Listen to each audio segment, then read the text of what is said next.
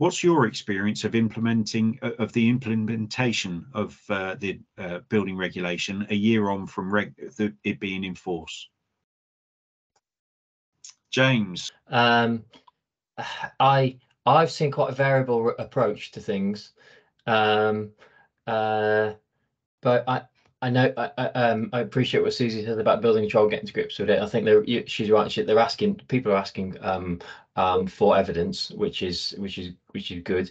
Um, um, but I, I do know that um, building control receive um, a, a, whole variety of different um, outputs that they have to then interpret.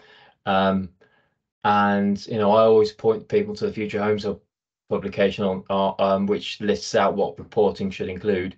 Um, uh, because uh, in my my view that's that that's that's the minimum really um but the, you know there's a variable approach of, of what people output um uh and and putting my environmental hat on i think there's a complete range of uh, um I don't think I don't think the uh, the, the, the environment uh, side of things has been accounted for uh, anywhere near as much as it should be in in these strategies. So um, I think that's uh, that's one of the major things that I just I, I see as a as fairly sporadic, really. Um, that's my experience from year on.